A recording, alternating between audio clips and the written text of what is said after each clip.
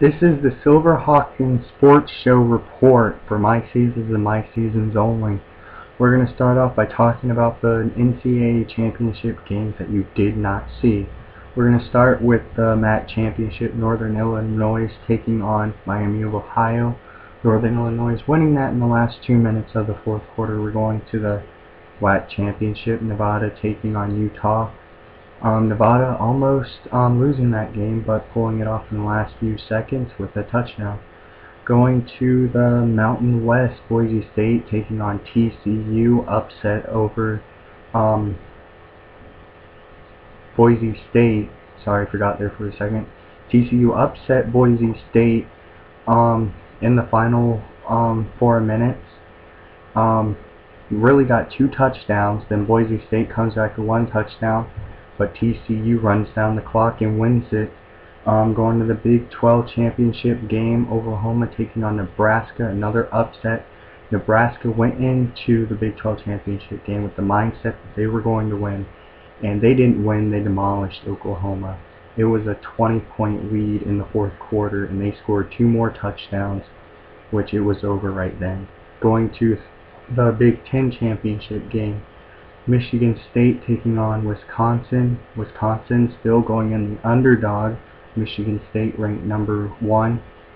Um, I mean Michigan ranked number one in the Big Ten. Um, Wisconsin went in with the same mindset as Nebraska and came out with a big giant win as Wisconsin wins the Big Ten. Um, going to the ACC championship game, which I have on my YouTube channel. That wasn't one of my great games, but Florida State, they hung on at the end, so a win's a win, you gotta give it to them.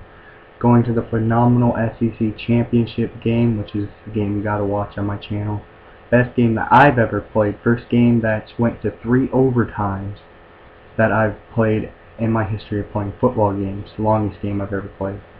Um, Georgia ties it up at the end of the fourth, forcing it to, like I said, three overtimes, but Alabama closing it out with a touchdown and a two-point conversion. The final score in that game was 50 to 48. Going to switching sides, going to college basketball. Duke on a 7 nothing win streak starting off their 2011-2012 college basketball season.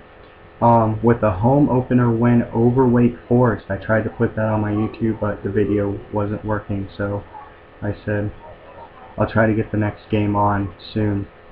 Um, but Duke went in and and did what they had to do, to, um, got their job done, and beat Wake Forest. Starting the second half, Wake Forest had a um, 9 um, 9-2 run up against Duke, but Duke just started hitting threes, raining them from beyond the arc, and that just closed out the game for Wake Forest. Going to the NFL, um, Eagles at Raiders. Um, Eagles, they they struggled through this game, and we all know that the Raiders are not a good team, but I think that's why Eagles went in with the mindset that, hey, th this is a pushover team, but the Raiders showed them that they weren't. But a lucky catch, which I thought I should have caught on my camera, but I didn't because the video wasn't working, but it was a um, throw to the end zone to the tight end Michael, but Asante Samuels looked like he had it picked off, but it bounced off his hands off his helmet, off his shoulder pads, back off his helmet, and a diving catch by Michael. Secure touchdown catch for Oklahoma. Yeah, Oklahoma, uh, Oakland. Oakland. I was about to say Oklahoma for some reason. Um, to put them up 7 nothing in the first half, but Eagles coming back to win that game 27 to 20. Um, that's what happened this week.